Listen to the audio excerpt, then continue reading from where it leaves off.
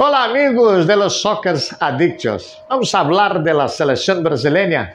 En dos juegos, el data FIFA, la victoria diante de la selección de Inglaterra en tradicional estadio de Wembley y el empate diante de la selección española. La selección que, de España que en su primer juego amistoso fue sorprendida por la selección colombiana. Mira que los equipos sudamericanos, Colombia, Argentina, campeón del mundo, Uruguay y Brasil, son grande fuerza para la temporada 2024 y mirando para el Mundial 2026. Bien, eh, vamos a hablar del comandante Dorival Junio, que está a frente de la selección brasileña.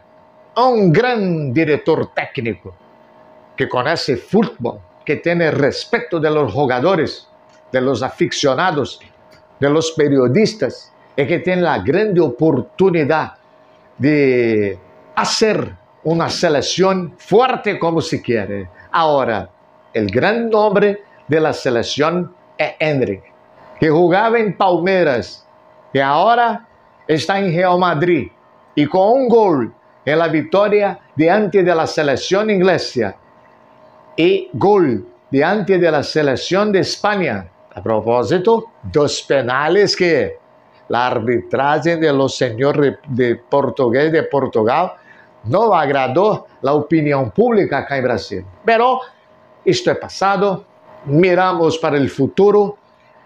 6 de junio, México y Brasil. 12 de junio, para nosotros acá en Brasil, el Día de los Enamorados, Estados Unidos y Brasil.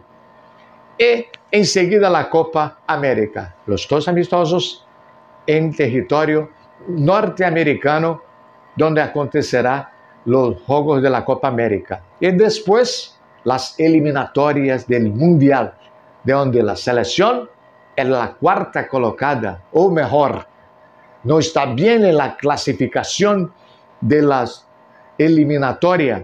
Y con Dorival, su equipo, los jugadores, apoyo de la imprensa, de los periodistas y de los aficionados, creamos que la selección venga a ganar su derecho y su tarjeta, su pasaporte, su ticket para el Mundial 2026. Acá de Brasil, para los soccer adictos, Amarildo Silva. Saludos a todos.